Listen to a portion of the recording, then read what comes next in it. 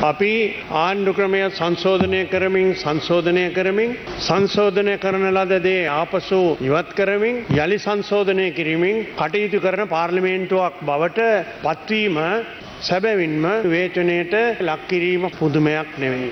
මේ ආණ්ඩු ක්‍රමය සම්බන්ධව තිබෙන පාර්ලිමේන්තුවේ බලය වැඩි කර ගැනීම සඳහා වූ යෝජනාවල් තිබෙනවා. ඡන්ද ක්‍රමය වෙනස් කිරීමේ යෝජනාවල් තිබෙනවා. ඒ වගේම වෙන වෙන ආයතන රටේ තිබෙන වෙනස් ප්‍රතිසංස්කරණයකට භාජනය කිරීම තිබෙනවා. මේ කටයුතුත් සිදුවිය යුතුයි කියන ස්ථාවරයේ තමයි අපි ඉන්නේ. විසිදෙවැනි ආණ්ඩු ක්‍රම ව්‍යවස්ථාව සමගම ඉතිරි වී තිබෙන වැඩ කොටස නොකොරොත් විසිදෙවැනි ආණ්ඩු ක්‍රම ව්‍යවස්ථා සංශෝධනයත් අවුල් තත්ත්වයකට ක්‍රියාත්ම කිරීමේදී පත්වන්නට ඉඩ තිබෙනවා.